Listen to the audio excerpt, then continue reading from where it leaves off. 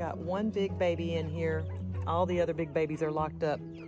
Trying to see how one will do with the little ones. So far, she's ignoring them. I bet if I wasn't setting in here, she'd be eating them. Yikes. Caroline's going crazy. It's bedtime and she can't get into the house because I've got it blocked off. Come over here, Caroline. Come on.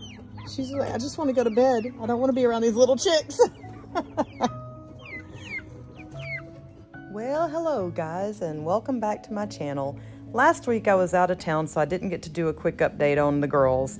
So this week, our big girls are 13 weeks old, the middle are seven, and the babies are six. And as you can see, I'm still trying to integrate our little girls in with the big girls. So we started out by just putting one big girl in the pen with the little girls at a time. And we worked for a few nights to see how things would go with one chicken. Then we added two chickens and finally worked our way up to seeing how things would go with working with all the chickens together at one time. It has been a journey for sure.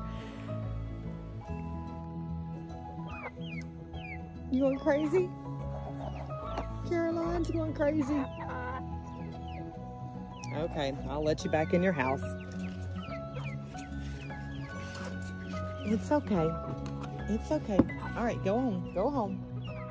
She's ready to go to sleep.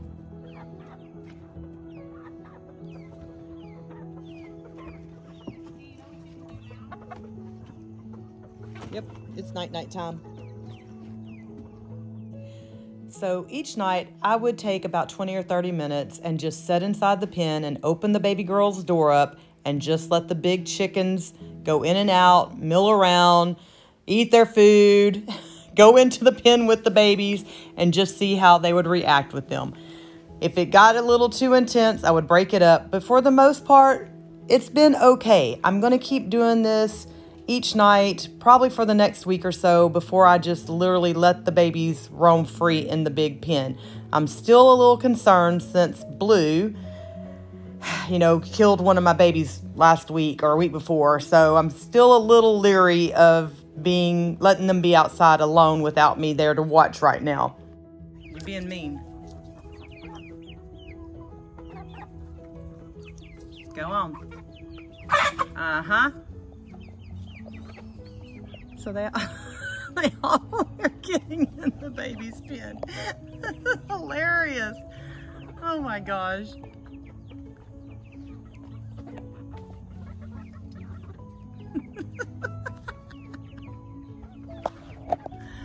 oh, Lordy, y'all are nuts.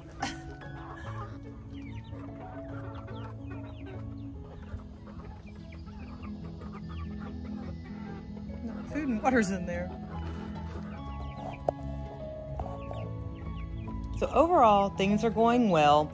I'm going to give it a few more weeks before I just let the girls go with the big girls. And as you can see, our chicken hawk is still around. As a matter of fact, there's not just one, but we saw two the other night. So even more reason for me to make sure that my little girls are taken care of. All right, guys, thanks for stopping by and enjoying this short little video of this update on all my chickens.